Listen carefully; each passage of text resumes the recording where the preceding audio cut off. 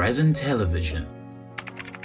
We are everywhere. Several persons have been trapped and many critically injured as a two-story building collapsed in Calabar. The incident which occurred on Saturday evening saw workers who were on site trapped under the rubble.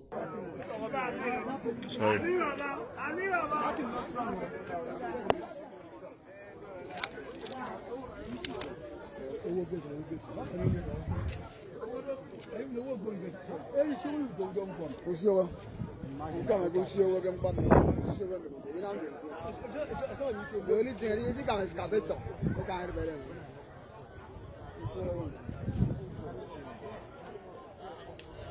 This is a collapsed three-story building.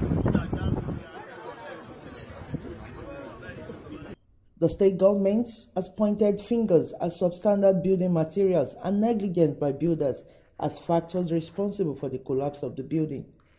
A statement issued by the State Commissioner for Information and Orientation, Eric Anderson, said the state governor, Ben Ayade, has directed the immediate deployment of relevant ministries and agencies officials to coordinate rescue efforts as well as provide medical support to the injured and security in and around the vicinity. Meanwhile, the Cross River State Commissioner for Information on Saturday evening led a team of rescue operators to the site of the collapse.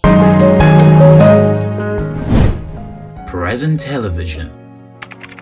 We are everywhere.